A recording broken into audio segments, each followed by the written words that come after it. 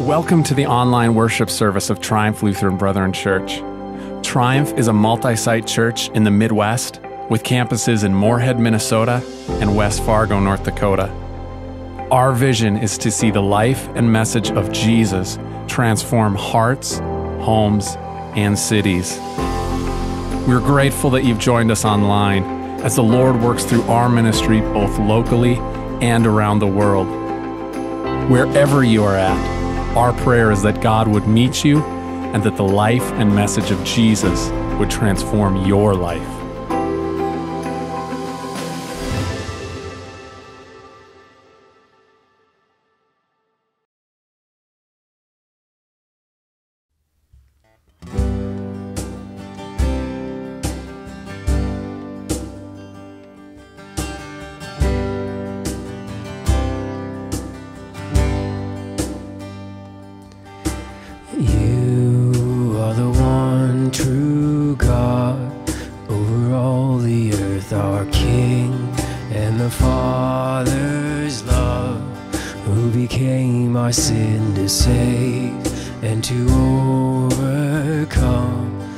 By your glorious name.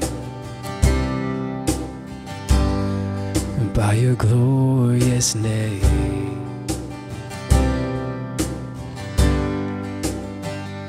For you are the Lord, the Lord God so merciful. And you are the Lord, and you're abounding in loving kindness. And you are the Lord, full of grace and full of truth. Oh, you never change. Oh, what a glorious name.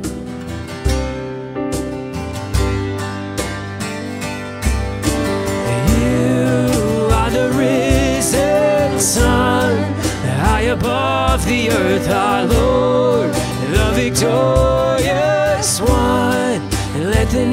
nations bring you praise.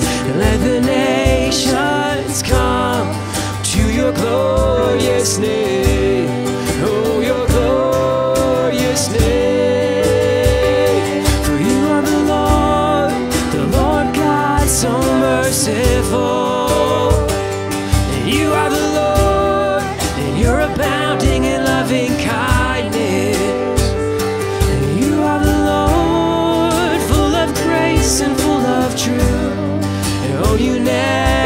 Change.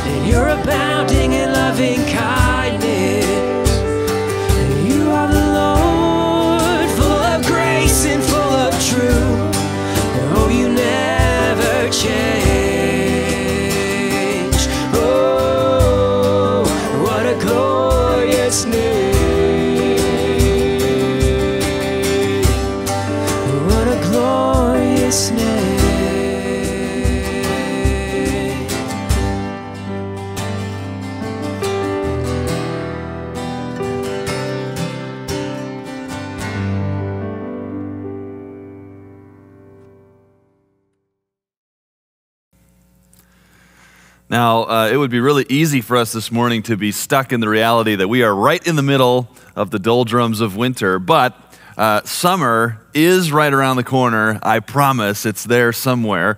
Now, uh, if, to make things better, perhaps we could all imagine that it's summer. So maybe you close your eyes and you reflect and you get hit by the rays of sunshine. No, that's not just the lights, right?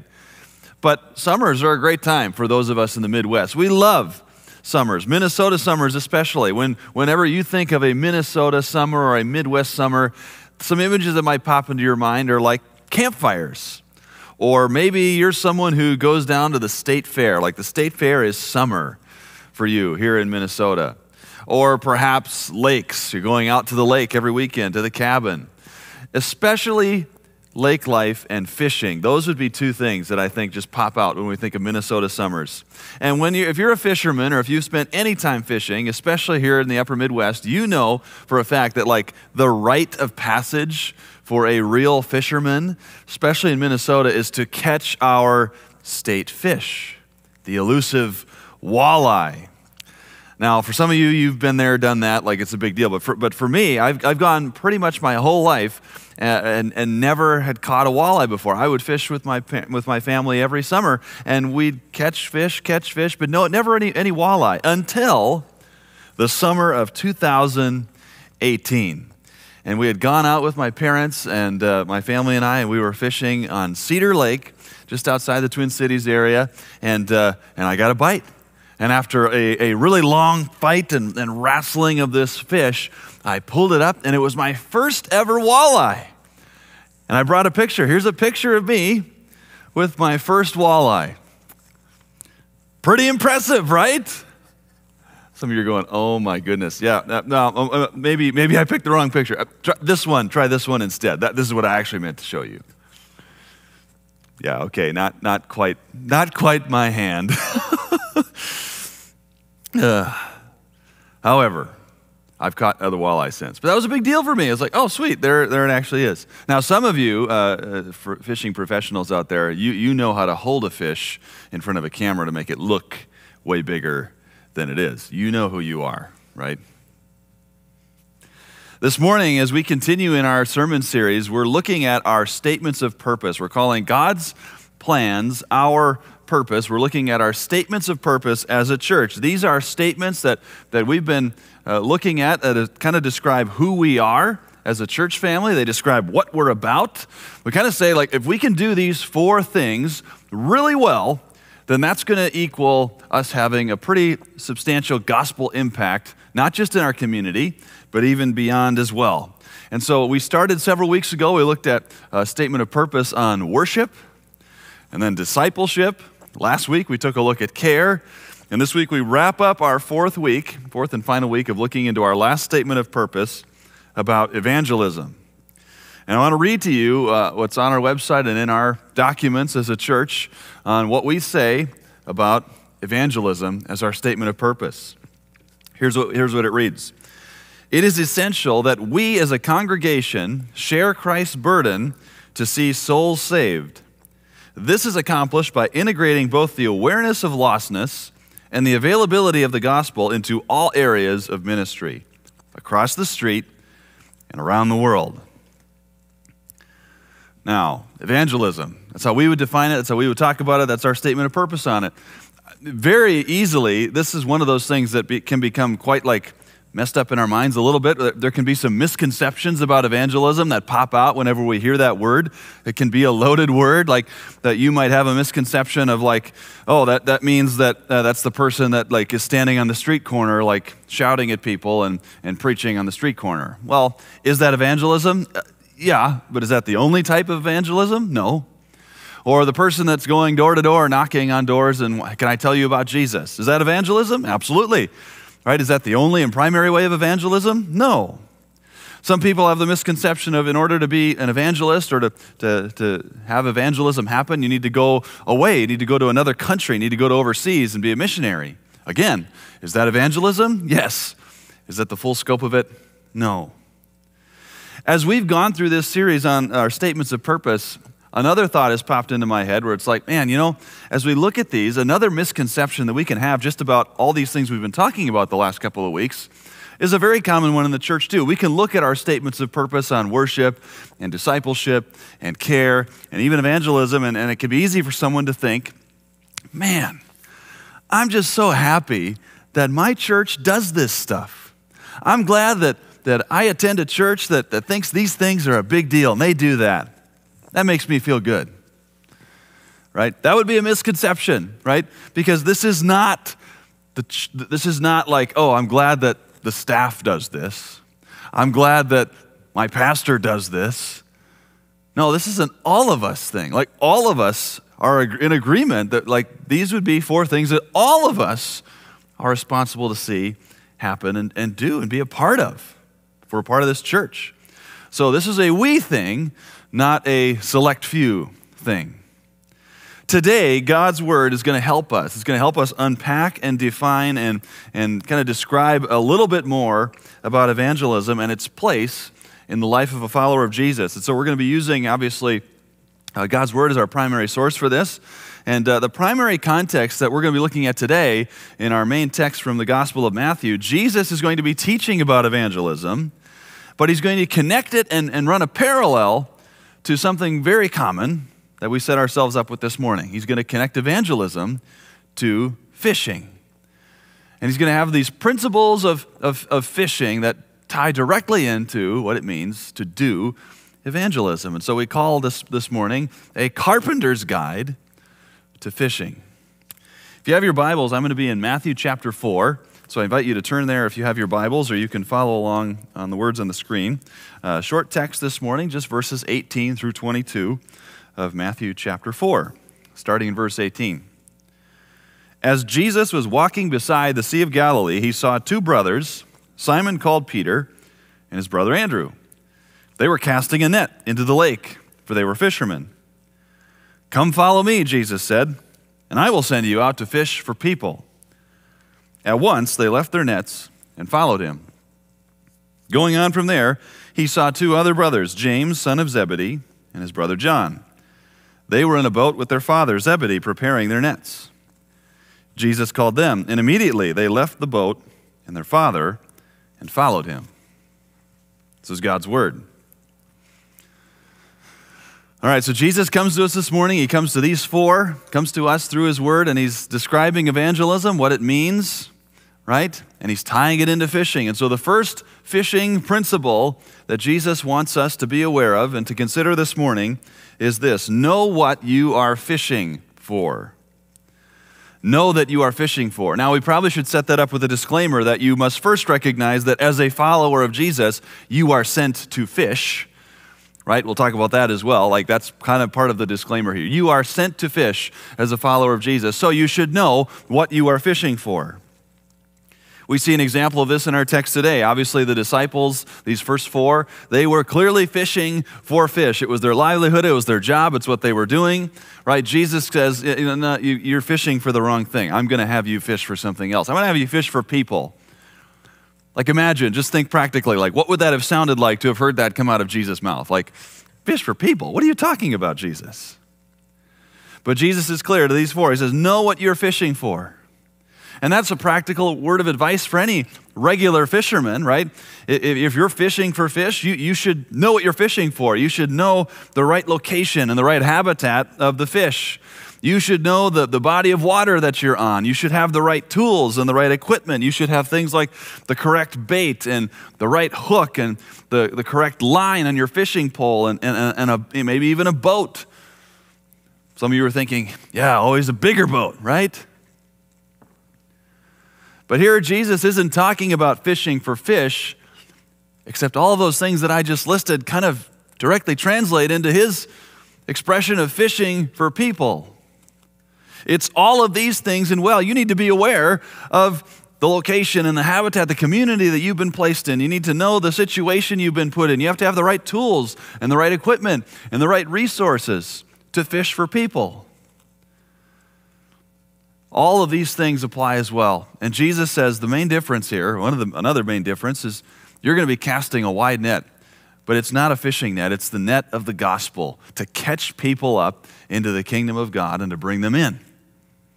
Fish for people. And so, what we see is that evangelism is very closely connected and really a part of the discipleship process. Right? Usually, we, we this text is, is Jesus calls his first disciples. You might think, well, discipleship, right? But you see, evangelism is closely connected. Jesus said, Follow me, and I will make you fishers of men. I will send you out to fish for people. And it's here that we get kind of the main, one of the main purposes of the church. One of the main purposes of the church is to make disciples. We hear that a lot. One of the main ways that a church makes disciples is by telling people about Jesus. So think of your own life. Like clearly, somewhere along the way, someone told you about Jesus. Do you remember who it was? Do you remember where you were when that happened? Could have been a parent or a grandparent or a Sunday school teacher. Who was it that first told you about Jesus? And if you're a follower of him, like you can be thankful not only for that person, but for the ongoing telling about Jesus in your life as this gift of faith was created and has grown into where you are now. Kind of an interesting story to think about. Here at Triumph, we, we love telling people about Jesus. It's what we do, it's what we're a part of, it's what is in the fabric of everything we do. It's telling people about Jesus. And we do that in a couple of main contexts, what the church is called to do to, to proclaim that good news both near and far, both locally and globally. So we, do, we don't only look at what happens in this room, we look at what happens in the rest of this building and all the ministries that happen. How are we telling people about Jesus? We look around us in our, in our community. Are there, are there opportunities that we are taking advantage of as a church to let people know about Jesus? And obviously, our connections even beyond the physical region that we're a part of, and it's around the globe. How do we tell people about Jesus? And that looks different for each individual and each church, but we believe it's both local and global, near and far. Let's take a look at, at God's word for a moment here and, and how God's word would define this, uh, this situation, this context of evangelism. Uh, there's two main New Testament words that are kind of brought up uh, all throughout the New Testament about talking about this evangelism, this, this going, this telling people about Jesus. Uh, the first Greek word is, is kind of where the word evangelism comes from. It's euangelion. And euangelion really just is translated as good news. So, right, it's telling people the good news, the good news of the gospel. Another word that's used is martyreo. And that's where we get our word martyr. And, and in its context, this means that it's someone who's bearing witness to something someone who's testifying about something. You think of someone in a courtroom, right? You bring in a witness, someone who's there, who saw, who experienced, who can, who can testify that, yes, this is true, this actually happened. You can take my word for it. I was there, I saw it, it happened to me, I experienced it. All right, so both of those words, euangelion and martyreo, this, this good news and this witness, these are the two words that kind of hold the fabric together of the New Testament when it comes to evangelism a couple of uh, scripture passages that bring this out. Uh, we think of Matthew 28, right? We read it a couple weeks ago in the context of discipleship, right? But but it's really an evangelistic statement too, right? The Great Commission, Jesus sending out his disciples. He says, "Go into all the world, make disciples of all nations, baptizing them in the name of the Father and of the Son and the Holy Spirit, teaching them to obey everything I've commanded you." Right? Going with the good news. In Acts 1, before the Holy Spirit comes, Jesus tells his disciples, He says, But you will receive power when the Holy Spirit comes on you. And here's that word you will be my witnesses in Jerusalem and in Judea and in Samaria and to the ends of the earth. You see, the rings of influence keep getting bigger, right? Now, when, it, when we think of fishing and we think of a witness, like, it's pretty important. You think about, like, the classic fish story right? You tell somebody about this fish that you caught, right? And if you were there, it was a pretty, it's always a remarkable story. A good fishing story is great, right?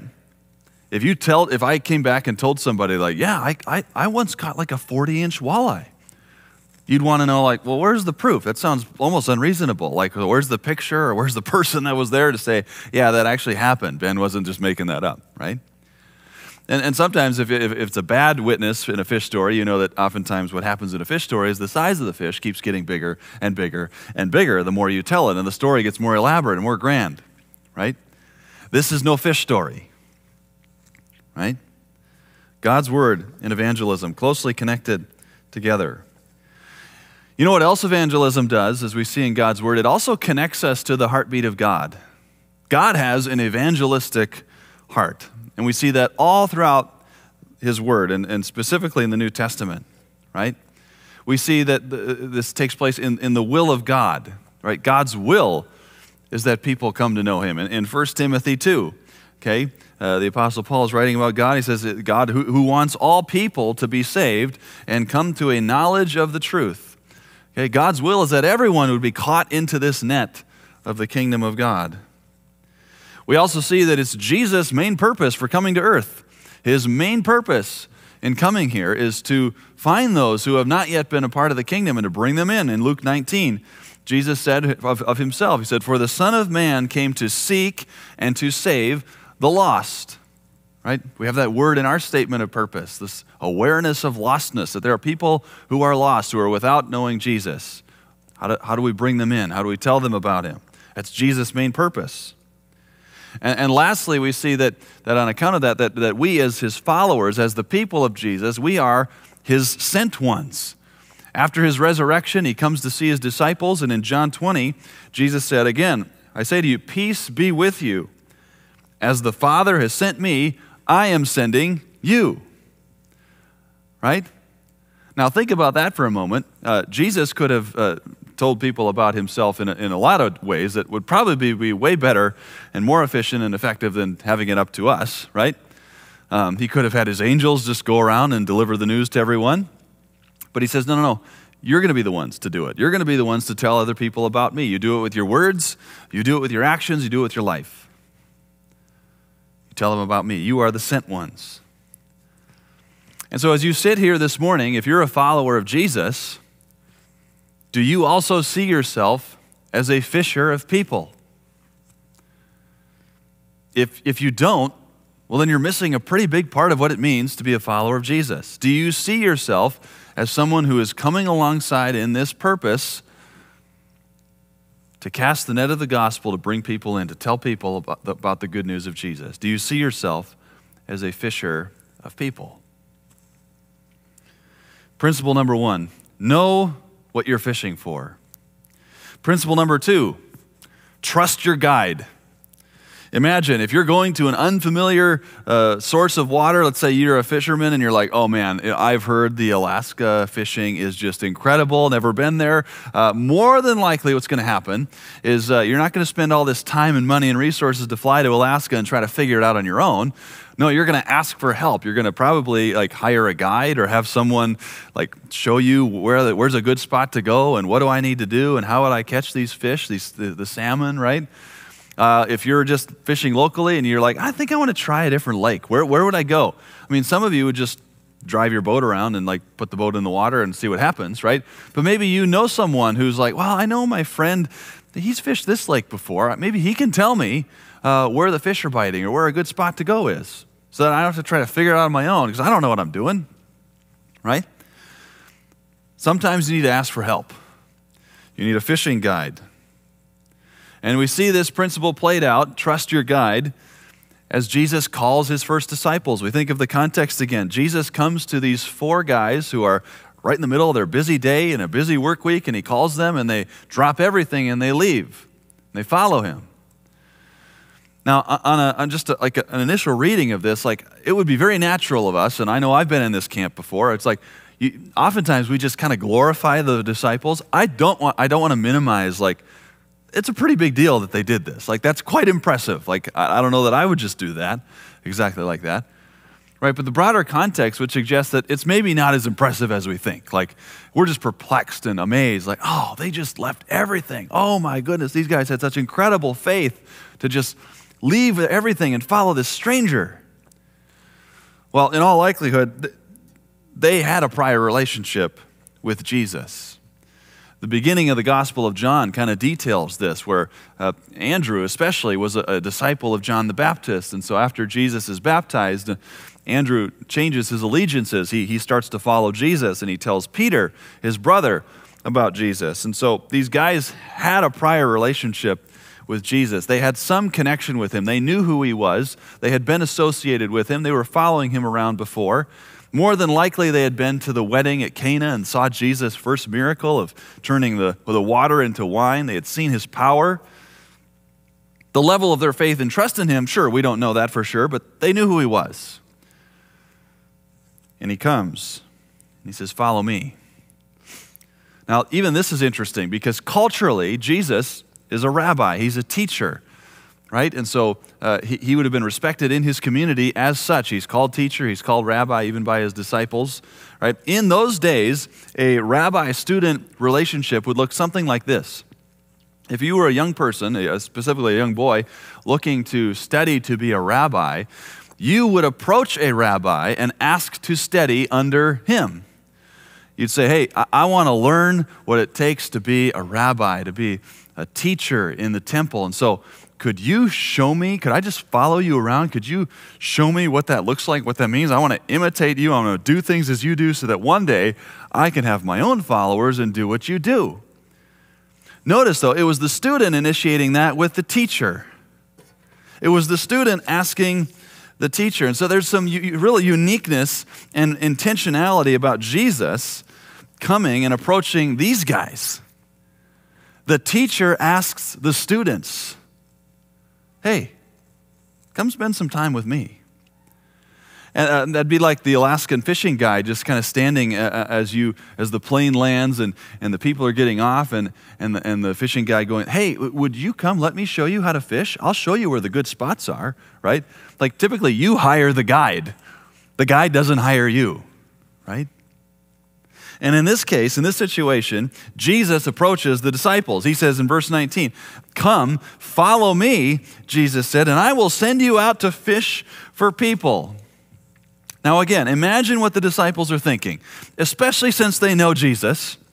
And sure, he's a rabbi, right? But, but he's also a carpenter. Like, imagine Peter, and Peter's kind of blunt. We know that about him. Imagine him thinking, like, he's hearing Jesus say this. He's like, okay, Jesus, you're a carpenter, right? Uh, you know how to work with wood. Like, I'm the fisherman, right? I know how to fish. I've been fishing my whole life. Fishing's kind of my thing. I know what I'm doing. Like, don't give me advice on how to fish. And yet, how many times in the Bible do we see, in the Gospels especially, how many times do we see example after example? There's at least two of the disciples fishing all night catching nothing, Jesus standing on the shore saying, Hey, why don't you try to throw your nets on the other side of the boat? They go, Okay, yeah, whatever, let's humor the carpenter.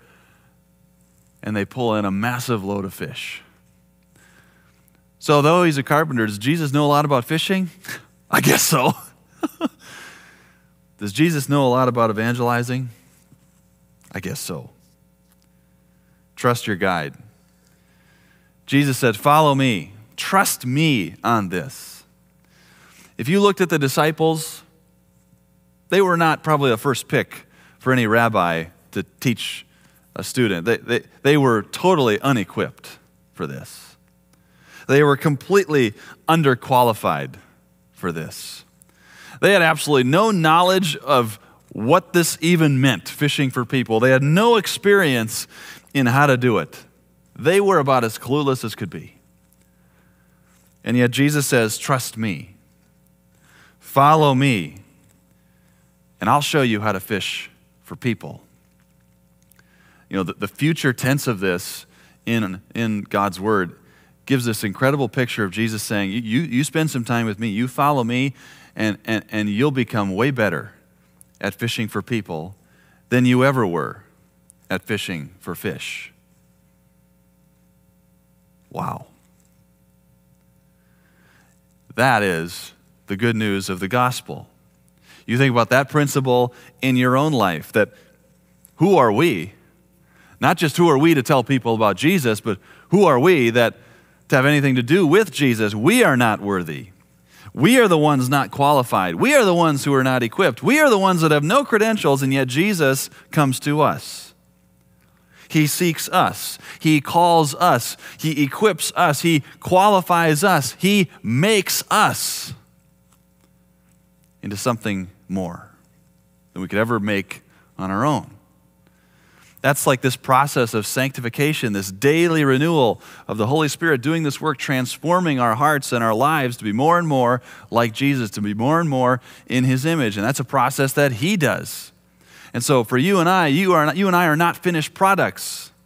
We're a work in progress, right? And what we will be is still being made as Jesus works on our lives. That's an act of grace. So know what you're fishing for. Trust your guide. And the final principle that Jesus gives this morning be aware, be observant, be patient. True task of a fisherman. There is no quality that fits alongside fishing like patience. Because sometimes the fish aren't biting. And you're sitting there for hours, and the sun's hot, or it's raining, or it's the wind's cold, right? and nothing's biting. I can remember one of the first times I took my kids when they were younger uh, fishing, and of course, you get them on the boat, and they're all excited to spend time on the boat. And they got their life jackets, and they got their little fishing poles, and they're ready to go. They're ready to reel in the 50 inch walleyes, right? And uh, about after, oh, you know, five minutes of sitting there and not uh, catching anything, you know, that you could see it in their face. They start to wonder, like, so, uh, are we done yet? Uh, can we go in? Like, I want to go play. This is boring. I'm hungry. When are the fish going to bite? Right? It's five minutes. I was hoping to at least get 30, right? Fishing and patience is a virtue. Fishing takes time. Evangelism takes time. And we know that because evangelism typically happens in a relationship. Think about for the disciples. Like they had a relationship with Jesus. He wasn't a random stranger asking them a random question. Right? They knew him. They had spent some time with him. Right? And he calls them to follow him. Evangelism happens in a relationship. And so the first two principles of us as we are in relationship with people, Jesus says, the same as fishing, be aware of where you are. Be observant of what's going on. Be aware of the people in your life. Be observant of the conversations that are happening right? Who knows, someone that you know could come up and ask you this question like, hey, I see, I see you go to church. Like, tell me about that. What? In God's word, 1 Peter 3, we read, But in your hearts, revere Christ as Lord. Always be prepared. Always be aware. Always be observant. Always be ready. Always be prepared to give an answer to everyone who asks you to give a reason for the hope that you have. But do this with gentleness and respect? Who knows who's going to ask you a question or make a comment that is an invitation to tell someone about Jesus? Hey, tell me about this hope that you have. Are you ready for that conversation? Are you aware? Are you observant? Where are the places that God has put you right now? He's put you in situations where this happens. And it really starts close to home. Think about this God's given you, many of you, a family, right? Could be an immediate family that lives in your house. Okay, it could be extended family that is close by. He's given you people in your life, in your inner circle, family, friends. How do you tell them about Jesus? He's given you classmates and teammates and coworkers. How do you tell them about Jesus? How do you give a reason for this hope that you have as you're approached? Another misconception of evangelism is it's like just the theology police. I'm just beating people across the head with, with apologetics and convincing them and winning them over for Jesus. I don't know that that's evangelism. Evangelism happens in the context of a relationship as you come alongside someone, as, they, as you spend time with them, as they, as they look at your life, as they look at your choices, they see how you live, and they go, Man, what is with you? You're different. You're not like other people. Can you tell me about that? I had this happen to me. Uh, it's happened a couple times, but uh, the most, some of the most recent, uh, you know, being aware, observant, and ready, uh, these happen in everyday interactions. And so, uh, like most people, I get my hair cut, and uh, I, I, I hate like awkward silence. And so, like, anytime there's a conversation and it's quiet for more than like a second and a half, I've got to interject with a question. Now, I am genuinely curious, but I also want to break the silence, right? Well, when you're sitting making small talk getting your haircut, like, oh, that's rough, that's painful. And so oftentimes I will just start asking questions to the person cutting my hair and get them talking, and, and then I don't have to talk and talk about myself. And, but uh, a couple of times, uh, this person who's cut my hair, they asked me the classic question. It's not the weather, it's, so, so what do you do? What do you do? Uh, well, uh, what do you say? You know, like, uh, I work with people. Uh, I, am like a, a, teacher, kind of, you know. No, what do you do? I'm a pastor. One of the times, the one young woman who asked me that question said, What do you do? I said, I'm a pastor. She said, What's that like? uh, how much time you got? No. What's that like? And I got to tell her, I, and I kind of was pretty honest. I wanted to be genuine, right? I gave her this answer. She was, she was genuinely curious. She just wasn't looking to know, like, oh, what do you do? Oh, that's interesting. Let's move on, right? Like, tell me about that. What is that like? We had a great conversation. No, it's not like I was winning her heart to Jesus or anything. It was an opportunity that I was thankfully observant about. I wasn't expecting it, but these happen in everyday interactions. Where are the places that God has put you? Who are the people that God has put in your life? Right? God's given us family and friends and classmates and teammates and coworkers. He's, he's given us neighbors. I love G.K. Chesterton's quote on this. He says, We make our friends, we make our enemies, but God makes our next door neighbor. Why? Because they're right there. They're right there. Like the, the, the pathway to evangelism, the pathway of telling people about Jesus, it starts really close to home in your immediate family. And as far as being the sent ones, like, how about across the street or right next door? How do you begin to tell your neighbors about Jesus? How do you evangelize your neighbors? Everyday interactions.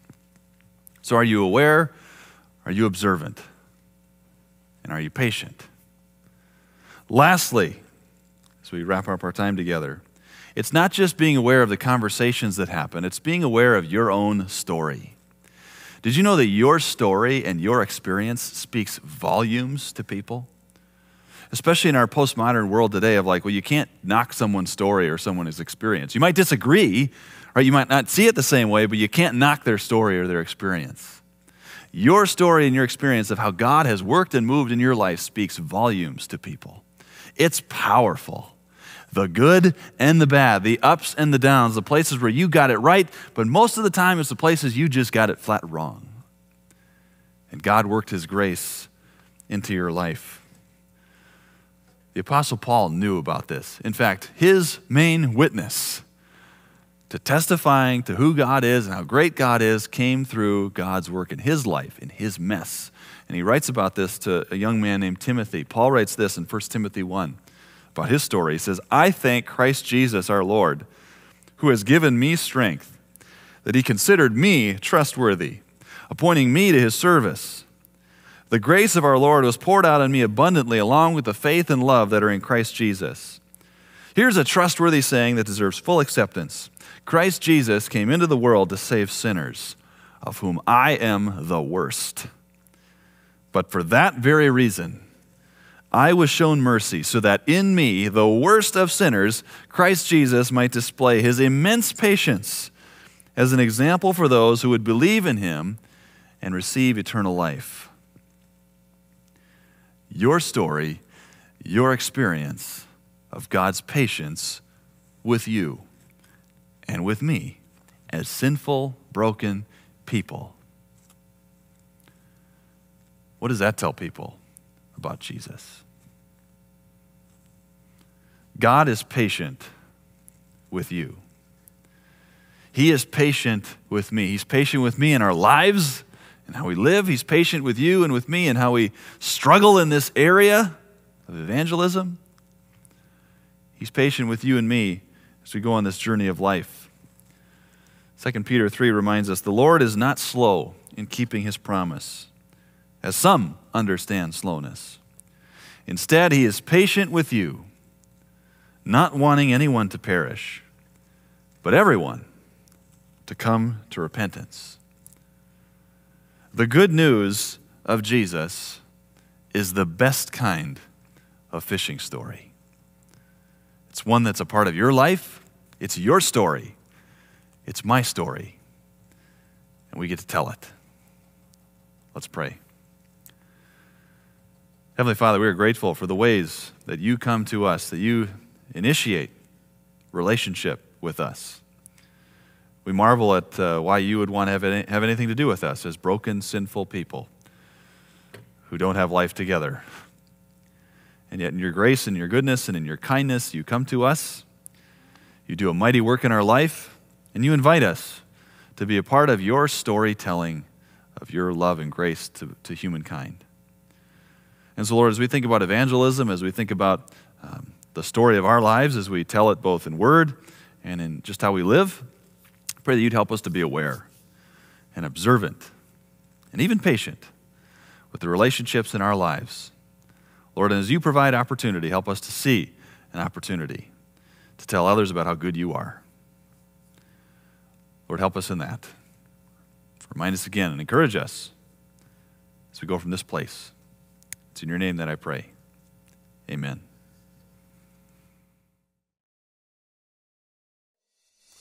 Hey, I'm Pastor Doug, and I want to take a minute and, and say thank you for watching the worship service today. If you'd like to extend your time of worship, we have a couple links to worship songs that fit today's message in the description down below. simply click, and you can spend more time uh, with Jesus in your day today. I have three quick thoughts that I wanted to share with you, and it'll only take a minute. First, we'd love to connect with you. If you'd be willing, you, can visit our website at triumphlbc.org/connect and let us know how we can reach you or you can visit triumphlbc.org slash events to find an activity that you could jump into. Second, we hope that you see this content as a supplement to your walk with Jesus. Our digital content really isn't designed to replace belonging and engaging with a gospel community. So, whether that's here at Triumph or at another church, we invite you to find a community that you can connect with. And third, we invest a lot of resources into producing content that's used to bless people just like you all over our community. If this or any of uh, the other resources we have here at Triumph have blessed you, would, would you consider giving? It's because of your generosity that we are able to continue creating and serving online.